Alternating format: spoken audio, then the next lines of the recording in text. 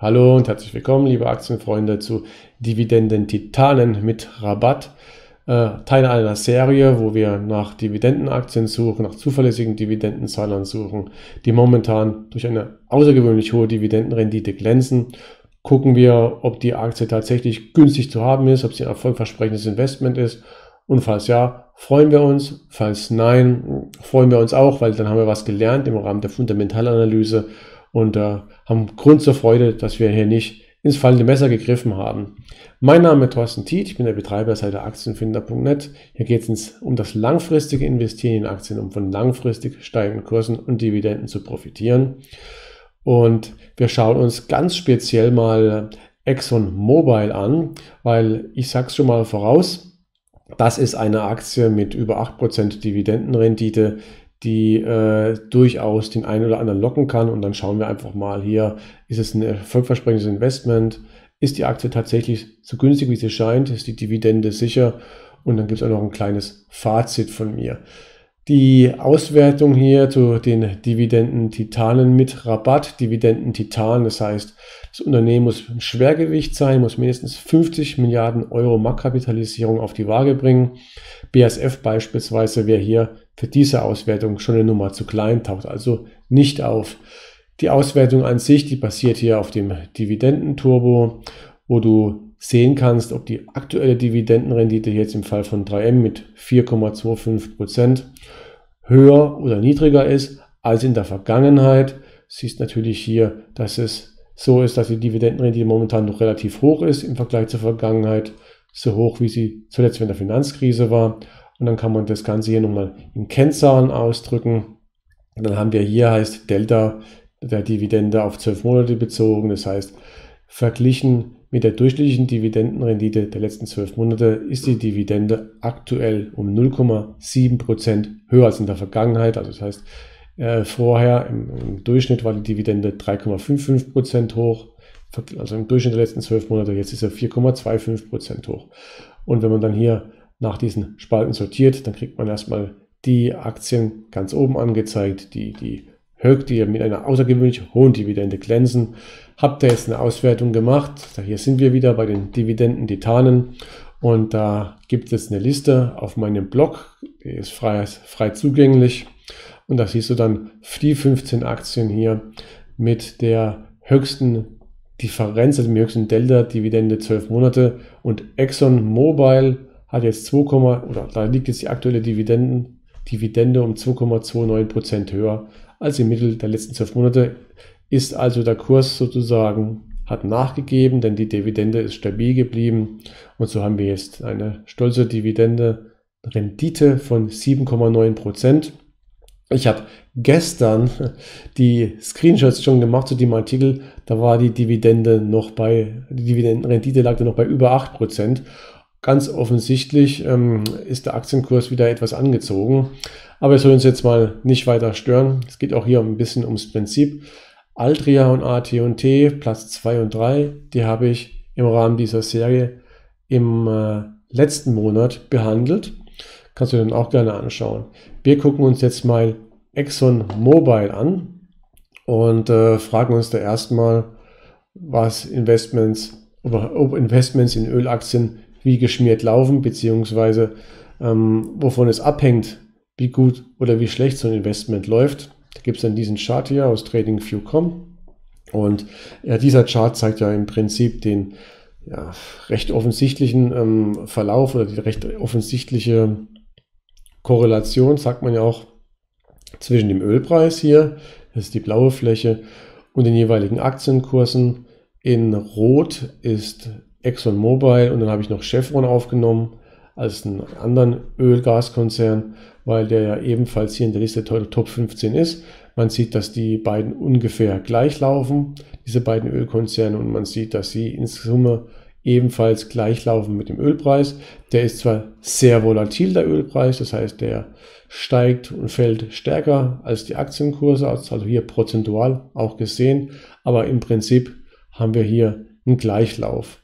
Wir sehen, dass der Ölkurs mal, der Ölpreis vor der Finanzkrise einen Hoch erreicht hat, einen absoluten, absoluten Hochpunkt und dann eingebrochen ist im Rahmen der Krise. Dann gab es wieder ein ja, recht beständige, beständiges Hoch beim Ölpreis und seitdem geht es jetzt abwärts. Und hier hatten wir sogar mal, weil, da ja, weil ja in Futures gehandelt werden, mal negative Preise gehabt, was ja auch ein paar Depots gegen die Wand hat fahren lassen. Aber das ist eine andere Geschichte.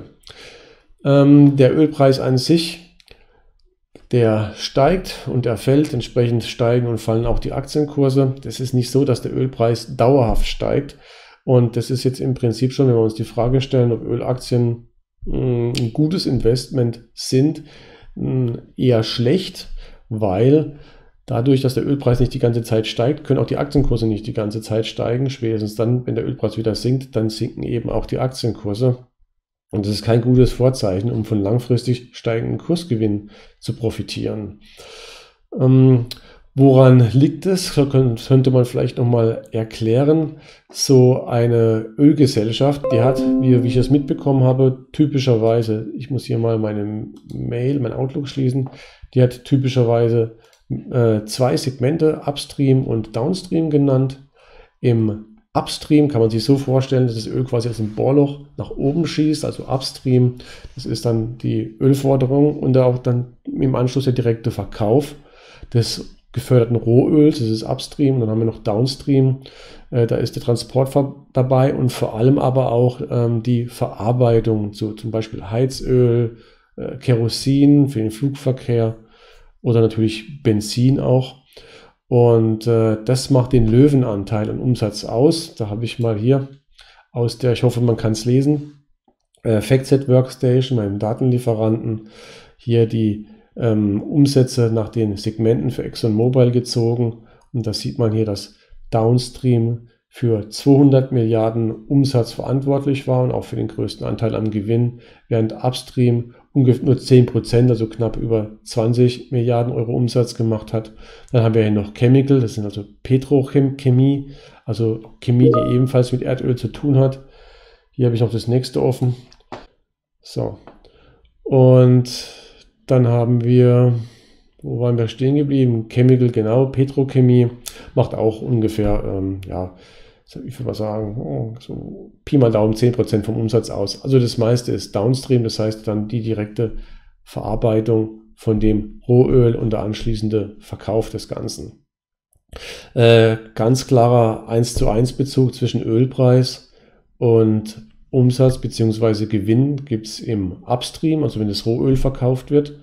Im Downstream äh, gibt es auch einen Zusammenhang also man, du kennst ja wahrscheinlich von der Erfahrung, dass momentan ja auch die Benzinpreise äh, eher gesunken sind, aber schon der Heizölpreis äh, momentan ist nicht so stark gesunken, weil die Nachfrage ziemlich groß ist nach dem Heizöl momentan, weil wahrscheinlich alle gedacht haben, äh, es wird jetzt günstig werden und alle schon voraus bestellt haben. Man muss jetzt Monate warten, wenn man Heizöl, den Heizöltank äh, befüllen möchte. Ähm, das heißt, hier ist der Zusammenhang beim Downstream nicht mehr ganz so klar, so eins zu eins gegeben wie im Upstream zwischen dem Ölpreis und äh, dem zu erzielenden Gewinn aus dem Segment. Aber es gibt ihn dennoch, weil im Prinzip der Ölpreis eine direkte Folge der, des, des, des, äh, der Konjunktur ist, wie es also wirtschaftlich läuft. Und wenn es wirtschaftlich schlechter läuft, dann sinkt tendenziell auch die Nachfrage nach den äh, nach, nach äh, Kerosin, äh, Benzin und äh, diesen ganzen Produkten. Gut, und ebenfalls nach Petrochemie. Ist halt alles zyklisch. Da so viel im Prinzip mal zu Ölaktien erstmal allgemein als Investments. Also es ist nicht damit zu rechnen, dass die Kurse von Ölaktien äh, beständig steigen, sondern es ist eher mit einem Auf und Ab zu rechnen, das konjunkturbedingt ist. Und wenn wir uns jetzt ganz speziell Exxon anschauen, dann würde ich vorschlagen, wir machen das mal hier im Aktienfinder. Das Symbol ist XOM, glaube ich. Genau, haben wir hier Exxon Mobile. Du siehst schon anhand der Kennzahlen hier 0,04, 0,31 Stabilität, Gewinn und Cashflow, dass das nicht so dolle ist. Gucken wir uns erstmal hier das Ganze aber mal in den Charts an und dann würde ich sagen, wir ändern mal das Chart-Layout und dann siehst du hier zunächst die Umsätze. Du siehst, dass die Umsätze von ExxonMobil um die Finanzkrise herum hoch waren. Wir erinnern uns, der Ölpreis war, hat kurz vor der Finanzkrise den Höhepunkt erreicht und dann kurz nach der Finanzkrise diese V-förmige Erholung. Dann war der Ölpreis auch wieder längerfristig hoch und dann ist er jetzt wieder gefallen. Entsprechend bilden sich auch hier die Umsätze und die Margen. Wenn wir jetzt die operative Marge anschauen, dann sehen wir, dass die teilweise recht hoch war, bei Spitze ungefähr 17 Prozent. Hier ist sie dann schon gesunken nach der Finanzkrise. Momentan liegt die operative Marge bei unter 3 Prozent, 2,85 Prozent. Also es ist historisch niedrig und laut Prognosen soll es noch schlechter werden, soll die operative Marge negativ werden, soll bei minus 1 Prozent, was nichts anderes heißt, dass ähm, bei einem US-Dollar Umsatz hättest du quasi einen US-Cent verloren. Man hat also dann keine Gewinne mehr, sondern Verluste. Das siehst du dann hier. Gewinn pro Aktie wäre dann übersetzt minus 33 US-Cent. Ähm, das sieht natürlich nicht besonders gut aus äh, und die ganze Zukunft ist natürlich extrem mit extremer Unsicherheit behaftet weil niemand weiß, was so die Corona-Krise in den nächsten Monaten bringen wird. Natürlich gibt es trotzdem eine Schätzung von den Analysten und da soll es dann wieder aufwärts gehen, dann soll die Marge auch wieder positiv werden und die Umsätze anziehen. Das ist aber natürlich alles ein Stück weit Kaffeesatzleserei. Was wir jetzt wissen, das ist erstmal, dass es zunächst schlechter wird. Also, dass wir hier Verluste machen, halte ich für wahrscheinlich. Wir wissen auch, dass die Dividende nicht gedeckt ist, durch den freien Cashflow nicht, noch nicht mal durch den bilanzierten Gewinn. Wir wissen auch, dass das Management momentan aber an der Dividende noch festhält, im Gegensatz zu Royal Dutch, wo die Dividende jetzt schon gekürzt worden ist. Das Management offensichtlich, jetzt geht es ja um die Frage, ist die Dividende sicher, äh, hofft auf eine schnelle Erholung und setzt dann ein bisschen jetzt auch auf Zeit um hier dann wieder dieses V quasi mitzunehmen und dann eben, dass die Dividende wenigstens wieder zum Teil gedeckt wird, sodass dann weniger auf Pump äh, ausbezahlt werden muss. Auf Pump ist das Stichwort, also wir sehen, es wurde schon in 2019 die Dividende nicht gedeckt. Wenn wir jetzt wissen wollen, ob die Dividende aus der Substanz noch eine Weile aufrechterhalten werden kann, dann äh, sehen wir das in diesem Chart hier. Äh, zuerst gucken wir uns dann mal die Tilgungskraft an. Dann sieht man hier, dass die Dividende längste Zeit gedeckt werden konnte. Dann gibt's, haben wir hier diesen grünen Überhang. Momentan sind wir aber hier. Das heißt, die Dividende, die bezahlt wurde, wurde ausgeschüttet auf die letzten vier Quartale bezogen von 14,866 Milliarden US-Dollar. Der freie Cashflow beträgt aber nur zweieinhalb Milliarden US-Dollar. Das heißt, wir haben eine Unterdeckung von über 12 Milliarden von 12,3 Milliarden US-Dollar. Das ist quasi auf Pump und es wird ja noch schlechter oder noch schlimmer, weil du ja hier siehst, dass der freie Cashflow ja noch weiter sinken wird. Das heißt, die Unterdeckung wird noch größer werden. Ähm, jetzt ist natürlich die Frage, wie lange kann äh, Exxon das beibehalten? Dann kann man ja erstmal schauen, wie viel Cash haben die denn hier oder Wertpapiere, die schnell zu Cash zu machen sind. Und dann steht der Unterdeckung in Höhe von 12,3 Milliarden, steht da Cash in Höhe von 11,4 Milliarden äh, entgegen. Das reicht aus der Sicht nicht mal für ein ganzes Jahr. Und wenn sich die Situation dann noch entsprechend verschlechtert, dann eben noch kürzer. Ähm, wie oft werden Dividenden ausbezahlt? Ah, ist ein Amerikaner, das heißt viermal, muss ich gar nicht gucken. Das heißt, das reicht dann hier für drei Quartale, wenn es noch schlimmer wird, nur noch für ein oder zwei Quartale. Wenn wir jetzt aber mal gucken, das heißt, wir brauchen dann äh, Schulden, um die Dividenden zu bezahlen. Das ist dann das, was Dividendenkritiker als linke Tasche, rechte Tasche bezeichnen, auch zu Recht. Und dann haben wir noch Verlustgeschäfte im Prinzip aufgrund der Steuer, die wir bezahlen müssen. Aber nichtsdestotrotz, das wäre eine Möglichkeit, damit das Management die Dividende aufrechterhalten kann, also höhere Schulden. Und dann müssen wir mal gucken, wie die Schuldensituation momentan aussieht. Da kann man jetzt die kompletten Schulden, also die kompletten Verbindlichkeiten einblenden. Die betragen 167 Milliarden US-Dollar, sind also, wie du siehst, deutlich höher als ähm, die liquiden Mittel des Unternehmens. ist aber auch nicht ungewöhnlich. Dann haben wir hier das, was als Kernvermögen bezeichnet. Das heißt, fast den kompletten Rest, fast die kompletten restlichen Vermögenswerte, Immobilien, Baulöcher, äh, wie heißen diese Dinger? Die Schürfrechte hätte ich jetzt fast gesagt für Öl äh, und so weiter. Und dann haben wir hier aber ein Kernvermögen von 344 Milliarden. Dann siehst du, wird der rote Balken hier doch deutlich überschritten. Mit anderen Worten, da sind durchaus noch ein paar Milliarden Euro Schulden drin. Interessant übrigens auch Treasury Stocks. Siehst du, dass die fleißig eigene Aktien zugekauft haben. Hier siehst du aber jetzt mal deutlich, dass da noch Schulden zu machen wären, um diese Geschichte von linke Tasche, rechte Tasche, also Dividenden quasi auf Pump, noch etwas aufrecht zu erhalten. Äh, bleibt also festzuhalten, sicher ist die Dividende nicht. Momentan hält das Management dran fest, sicherlich in der Erwartung einer V-förmigen Erholung. Äh, je länger die Corona-Krise anhält und der wirtschaftliche Abschwung anhält, umso mehr wird die Dividende natürlich wackeln. Ähm, interessant jetzt auch die Bewertung von Exxon, was auch ein Stück weit unabhängig von der Dividendenrendite erfolgt, wobei wir zuerst gerne die Dividendenbrille weiterhin aufrecht lassen können oder tragen können. Und dann siehst du ja hier erstmal wenn wir gucken, ob Exxon günstig ist anhand der Dividendenrendite, dann ist die Aktie quasi spottbillig. Haben wir hier eine Dividendenrendite von 8,3% hier angezeigt und dann siehst du, dass es in der Historie so gewesen ist, dass die irgendwo zwischen 2 und 3% gelegen hat, sehr lange Zeit, dann mal kurz zwischen 3 und 4% dann etwas höher und hier wir also eine deutliche über Dividendenrendite.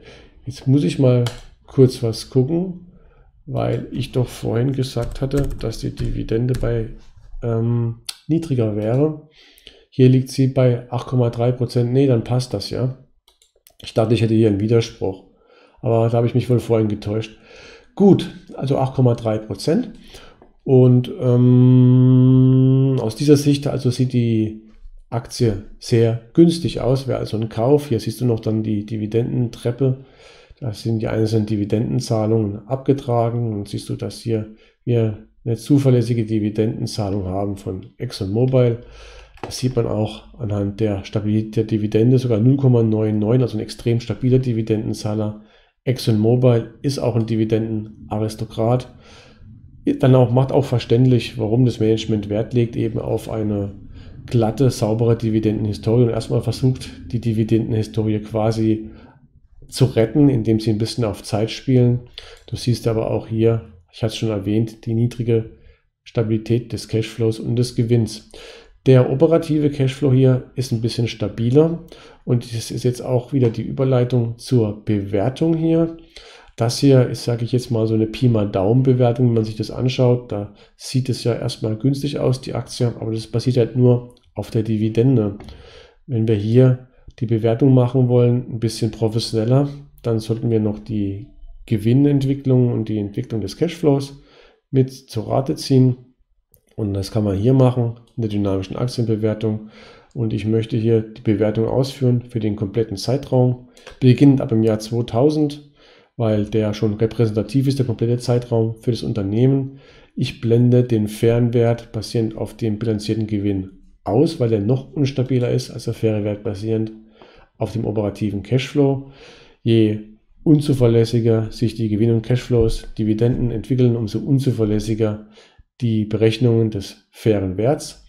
Hier ähm, würde ich mal sagen, geht es noch weil du erkennen kannst, dass es durchaus einen Zusammenhang gibt zwischen dem Kursverlauf und dem, und dem äh, Verlauf des operativen Cashflows und davon abgeleitet dem Verlauf des fairen Werts, basierend auf dem operativen Cashflow. Und ähm, interessant ist dann natürlich die aktuelle Situation. Und wir haben jetzt einen Aktienkurs von ungefähr 42 US-Dollar. Wir waren schon mal deutlich höher bei ungefähr 90 US-Dollar. Und jetzt ist natürlich die Frage, ob die Aktie ein Schnäppchen ist, ganz unabhängig von der Dividende. Und die Antwort lautet nein. Wir haben jetzt hier zwei faire Werte, die man zu Rate ziehen könnte. Wir haben einmal den letzten fairen Wert basierend auf den letzten Ist-Zahlen der letzten vier Quartale. Äh, das wäre dann auf, auf zum 31.03.2020. Das ist also das letzte Quartal, das bekannt gegeben wurde. Und da wäre dann der faire Wert liege da bei 62 US-Dollar. Danach, danach wäre die Aktie also jetzt sehr günstig mit unter mit 42 US-Dollar zu 62 US-Dollar, also wäre die Aktie unterbewertet. Jetzt haben wir aber hier die rasante Verschlechterung aufgrund des Corona-Crashs. Das heißt, diese Vergangenheit hier spielt meines Erachtens keine Rolle mehr, weil sie nicht mehr stellvertretend steht für die aktuelle Situation. Die aktuelle Situation hat sich dramatisch verschlechtert, sodass hier die Prognose für das laufende Geschäftsjahr wohl deutlich näher an der Realität liegt, sodass wir eben entsprechend auch diesen Fernwert, würde ich vorschlagen, zu Rate ziehen. Und dann wäre die Aktie jetzt nur noch mit 37 US-Dollar fair bewertet. Und jetzt ist die Aktie bei 42 US-Dollar plötzlich überbewertet. Das heißt, Exxon ist aus dieser Sicht kein Schnäppchen, sondern trotz des Kursverfalls immer noch leicht überbewertet. Wir haben hier auch einen fairen Wert Dividende. Ich blende mal spaßeshalber ein. Und da siehst du, dass der faire Wert Dividende, da wäre die Aktie, dürfte dann 106 oder da wäre die Aktie 126 US-Dollar wert. Warum ist das so? Weil für den kompletten Bewertungszeitraum, den ich hier jetzt ausgewählt habe, da liegt die historische Dividendenrendite bei 2,8 Prozent. Das siehst du hier. Und momentan wirft Exxon 8,3% Dividendenrendite ab. Das heißt, hier aus dieser Perspektive, das ist im Prinzip die Perspektive so ein bisschen des Dividendenturbos, wenn du so willst, ist die Aktie quasi spottbillig. Aber das würde ich nicht zu Rate ziehen. Ach ja, habe ich vergessen, hier was anzustecken, aber das Video wird nicht mehr so lange gehen. Wir werden es überleben, beziehungsweise mein äh, Laptop wird es überleben. Gut, da kommen wir am besten gleich mal zum Fazit, bevor ich hier vom schwarzen Bildschirm sitze. Ähm, für mich ist die Aktie jetzt spekulativ. Also es gibt äh, einen Punkt pro Exxon, wenn du spekulativ unterwegs bist. Hätten wir eine V-förmige äh, Erholung, dann könnten wir, ne, nämlich mit fast einer Kursverdoppelung rechnen. Dann würde nämlich auch der operative Cashflow, so wie hier prognostiziert, sich wieder erholen und dann könnte man quasi den Aufschwung voll mitnehmen. Das ist aber aufgrund der hohen Unsicherheit eine reine Spekulation. Als Investment wiederum halte ich Exxon nicht für besonders attraktiv, weil wie du hier sehen kannst, der Kurs hat sich in den letzten 20 Jahren im Prinzip seitwärts entwickelt. Und das ist, ich habe es ja schon erklärt, der Kurs hängt ja im Prinzip mit dem Verlauf des Ölpreises zusammen und das ist halt ein Auf und Ab. Insofern fallen dauerhafte Kursgewinne quasi schon aus. Hast du nur noch die Dividende, die im Prinzip dann für den Löwenanteil langfristig gesehen jedenfalls der Rendite verantwortlich ist. Ist auch hier so, Kursgewinn negativ, aber du hast dann eine Dividende kassiert und hast dann aufs Jahr eine Rendite erzielt von 3,2 Prozent. Aber 3,2 Prozent ist halt unterhalb dessen, was der breite Markt hergibt. Deshalb für mich wäre ExxonMobil jetzt nicht so interessant. Ist aber nicht schlimm, denn es gibt ja noch viele andere Aktien im Aktienfinder, kannst du einfach mal anschauen. Ich würde äh, lieber ein paar Prozentpunkte von der Dividendenrendite runtergehen und mir dafür äh, Unternehmen mit einer stabileren Gewinnentwicklung ins Depot legen. So, dann bedanke ich mich fürs Zuschauen. Bis zum nächsten Mal und jetzt schnell ausmachen und das Video speichern.